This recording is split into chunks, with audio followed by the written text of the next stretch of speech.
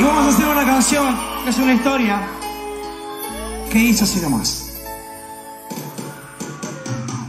Tan bonita, tan chiquita, tan llena de sonrisa perfumada flor que crecía.